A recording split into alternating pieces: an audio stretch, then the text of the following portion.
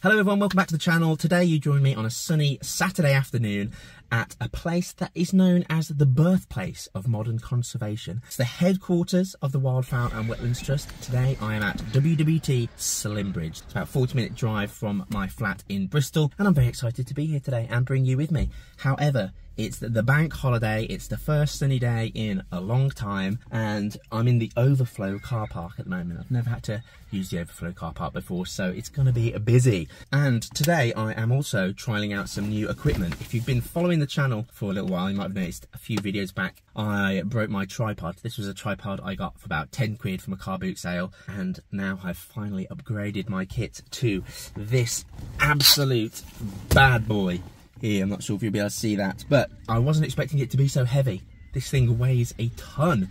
So I'm going to be getting a bit of a workout today as I carry that beast between all the different bird hides. But I'm hoping to put it to use and I'll be able to show off some of the video that I take with the camera today. So let's go, shall we?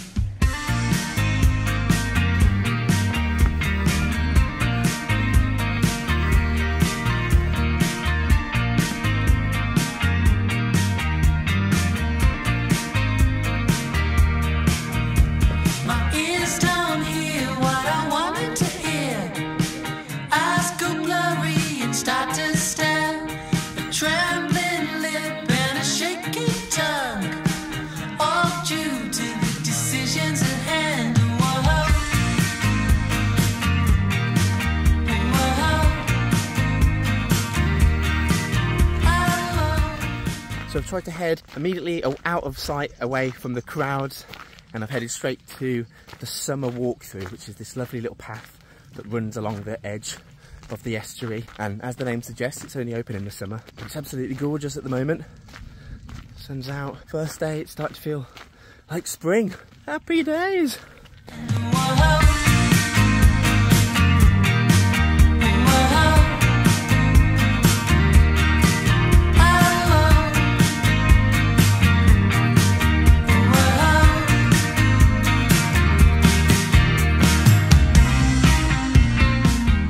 Very excited by the prospect of starting the day with a brand new bird I'd never seen before, a lifer.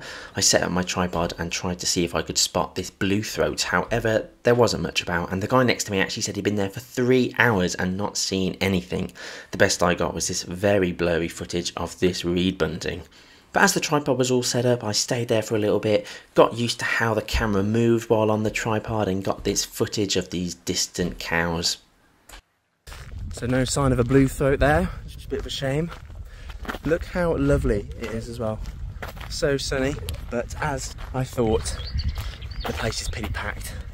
Lots of families and birders out today, making the most of the sunny day part of the summer walkthrough was actually closed thanks to all the spring rain we've had this year, so I headed back the way I came, said hello to the cows I saw earlier, and then made my way up the Estuary Tower Hide, which has these gorgeous views out over the estuary. Sir Peter Scott, the founder of the Wildfowl and Wetlands Trust, used to call Slimbridge the avian Serengeti thanks to the large amount of bird species that could be found here, a lot of which you can see from the Estuary Tower Hide because you're so high up, like this cute family of grey lag geese with their little gosling chicks, and a couple of shelducks that were dabbling away in the waters but the highlight from the estuary tower was pointed out to me by a young lad, and it was this distant brown hare that you can see here. You might just be able to make out the little black tips on its ears. So I took a quick snap and then was excited to explore the rest of the site.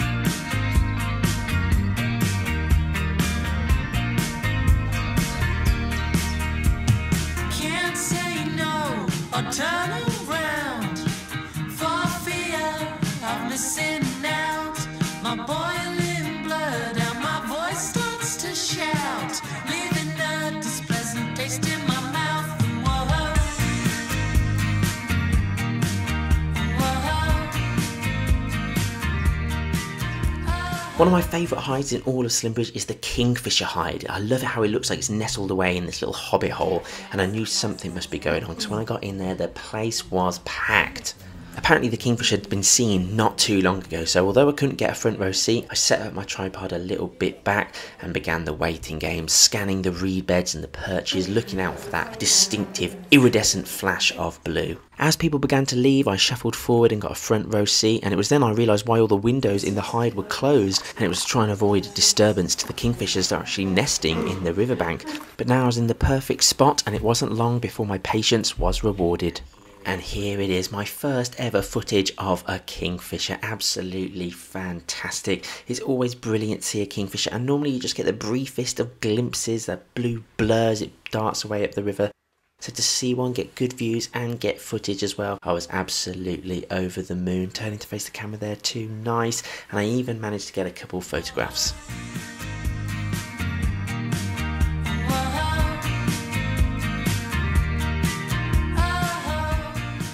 Lovely way to finish the afternoon. Kingfisher from the Kingfisher hide, perfect. The windows being closed did mean that the photos probably aren't going to be as good, but definitely makes sense on a busy bank holiday weekend to keep those, keep the noise down, you know. They're, they're young parents, they need their rest. So unfortunately, Slimbridge closes at half five, so I had to slowly make my way back to the exit, I thought I'd pay one more final visit to the South Lake, and this is the footage I got along the way.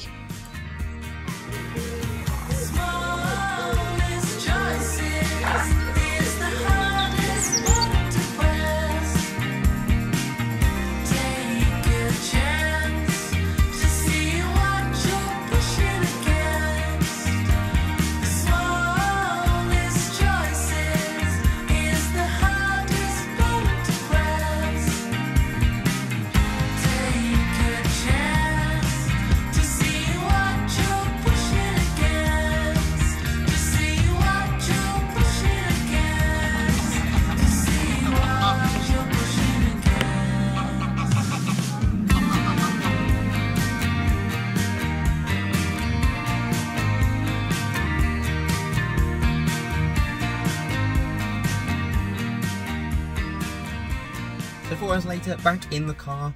Um, lovely day at Slimbridge, as always. It's a shame that it closes, unfortunately, so I would have stayed longer.